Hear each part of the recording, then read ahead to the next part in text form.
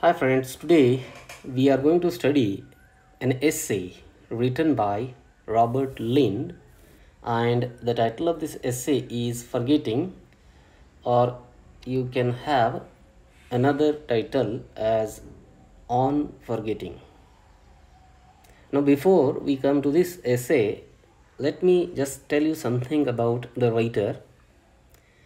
Robert Lynd was an Irish writer he was born in 1879 and died in 1949. He began his career as a journalist. He is a well known essayist and critic in English literature. In this essay, the writer throws light on a very common problem found with many people, and that is forgetfulness. This essay is taken from his book, I Tremble to Think. So, the writer, through this particular essay, tells us about a very common problem which is found among people, and that is forgetting or forgetfulness. Due to this habit of forgetfulness, many people are likely to forget certain things and they develop the habit of losing the things like umbrella, book, walking stick, purse, etc. etc. due to their forgetfulness. In fact, Lynd was shocked to see the articles which were forgotten by the railway passengers and kept for exhibition. In the beginning of this particular essay, the writer tells us about those articles which were forgotten by the railway passengers and they were kept for exhibition.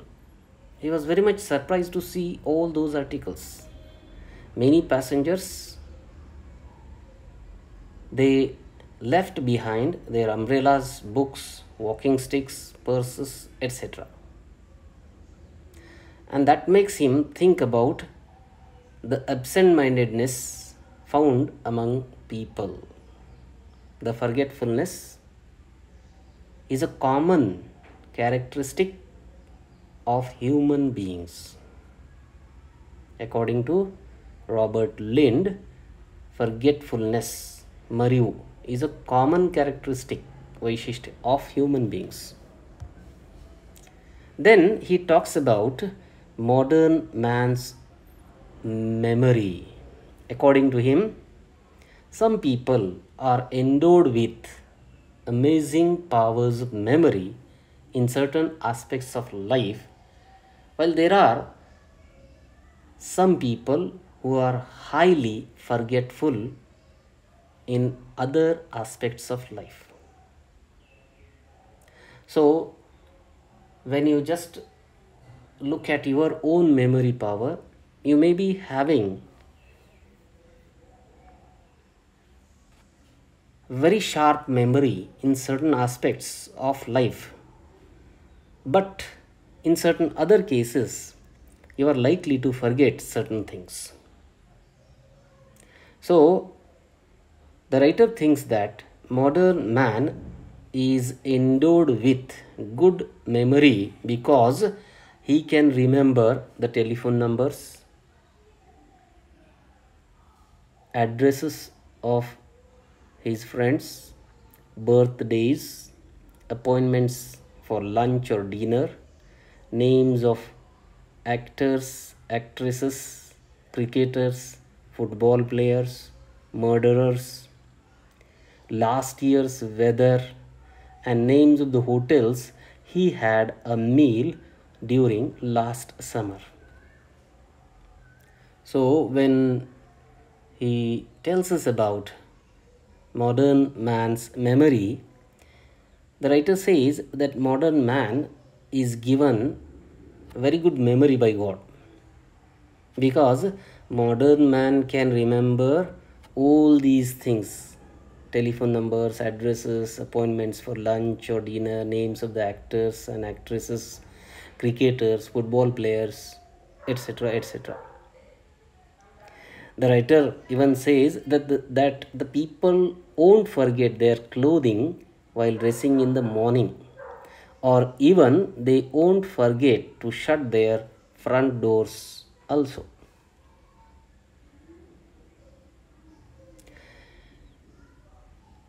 So, according to the writer, modern man remembers almost everything that he is expected to remember. Expect means apekshisu. But there are certain other aspects of life in which we can see the forgetfulness of modern man.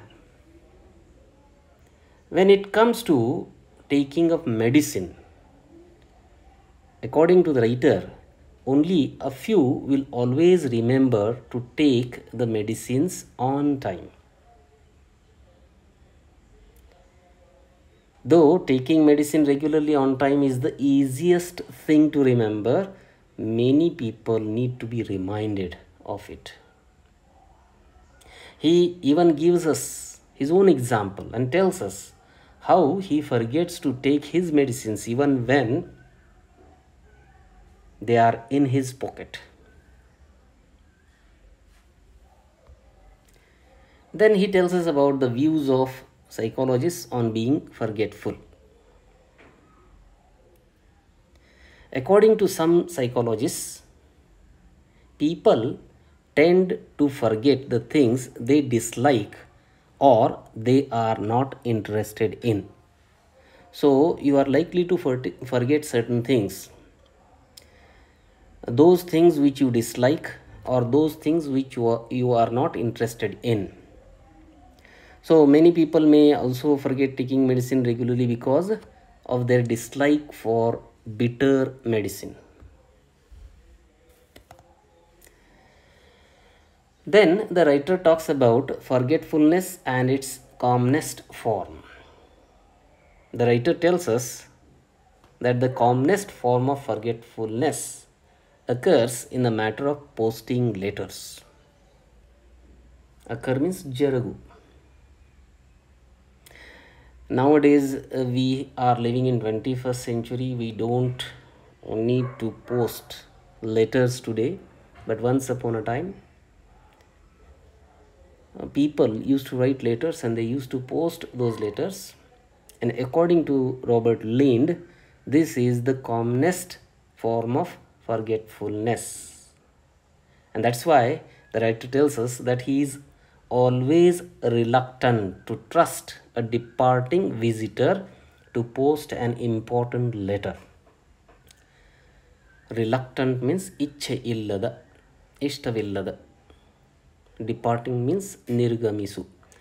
So here, when it comes to memory and forgetfulness, the writer tells us that the commonest form of forgetfulness occurs in the matter of posting letters.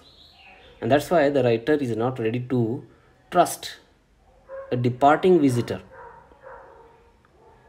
One who visits you. Visitor means Sandarshaka. So, a person who is going after meeting you, the writer is not ready to trust that person to hand over the letter so that he can post it. He goes on saying that even if he is given a letter to post by someone, he is sure that he will forget it to post. Then he tells us about traveling and forgetfulness. While traveling in a taxi or in train, he says he can remember almost anything except his books and walking sticks. Except means varatu padisi. So the writer tells us that people forget their books and walking sticks when they travel in trains or taxis. The writer says that due to his forgetfulness, he never carries an umbrella on his journeys. The writer is of the opinion that many of us might have lost much of our property on our travels due to our forgetfulness. So, this forgetfulness is a common experience. Many of us might have lost something due to our forgetfulness. Then he tells us about this forgetfulness which is found among youngsters, sports persons and anglers. According to the writer, the elderly people rarely forget the things on their journeys, perhaps because with experience they develop a down to earth attitude. Rarely means viradavagi. Due to their experience, the elderly people are likely to forget less than the youngsters. He says the youngsters, the sports persons, the anglers, they tend to forget earthly things because they seem to live in their imaginary world. in their dream world. Imaginary means kalpanik. The, the writer says that the sports persons, anglers and the youngsters, they always live in their dream world and that is the reason they forget the ordinary things. They are very imaginative. They are highly imaginative. Sportsmen forget their balls, bats, anglers forget their fishing rods because their minds are still engrossed with imagination. Then he tells us about the statesmen. According to him, even statesmen of great reputation are seen to have very weak memories. Statesman means mutsaddi, adalitagara. Reputation means khyati pardanta. So, the statesmen, they have very bad memories according to the writer then he asks is forgetfulness a virtue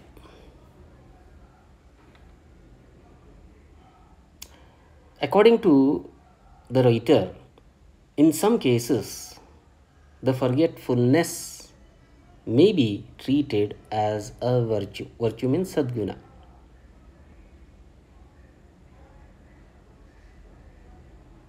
The writer makes us laugh when he says, Who would who would have trusted Socrates or Coleridge to post a letter? Socrates, a great philosopher, and Coleridge, a great poet. So you cannot trust either Socrates or Coleridge to post your letter. So, according to the writer, a man with great memory is rarely a man with first intelligence. So, if you have got a very good memory, it does not make you an intelligent person. According to the writer, Robert Lynd tells us that great writers and great composers of music are men with exceptional powers of memory. Exceptional means asadharana. So the great writers and great musicians, the great artists, they have very good powers of memory. Then he tells us about a story. Story of an absent-minded father. There was a father, he takes his baby in a perambulator. Perambulator means makkala taluva bandi. The father takes his baby out in a perambulator and leaves the baby in perambulator and goes to a public house for a glass of beer. Look here, there is a father and the father has taken his baby in a perambulator and as they are out all of a sudden the father finds a public house a place where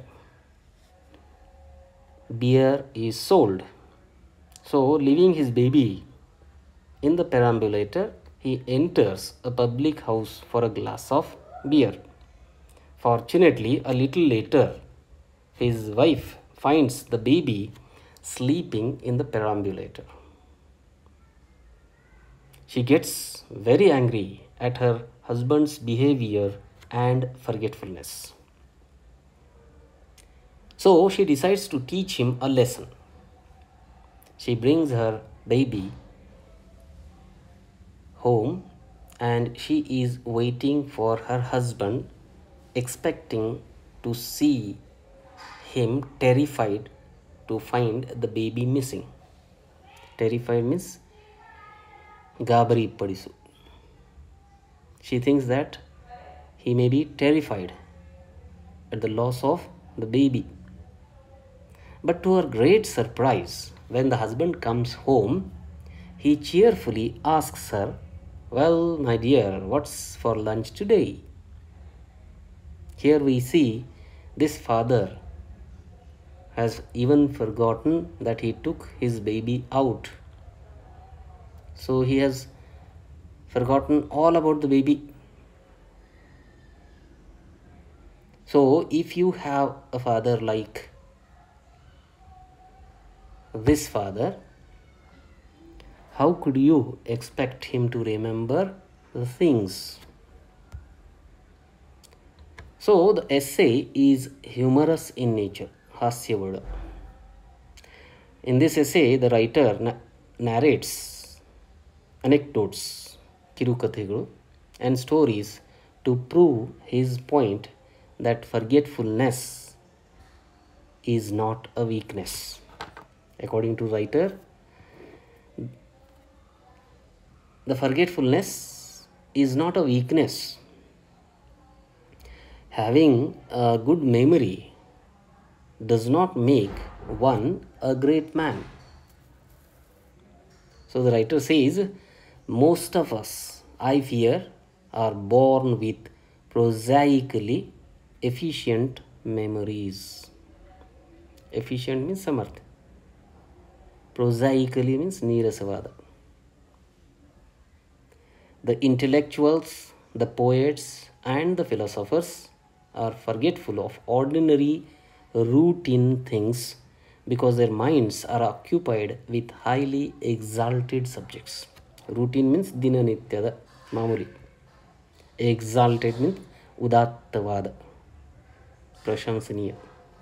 So the intellectual people, the poets, the philosophers, they are forgetful of ordinary things because their minds are engrossed with exalted subjects. According to the writer, a man who forgets day to day routine things is no less than a philosopher.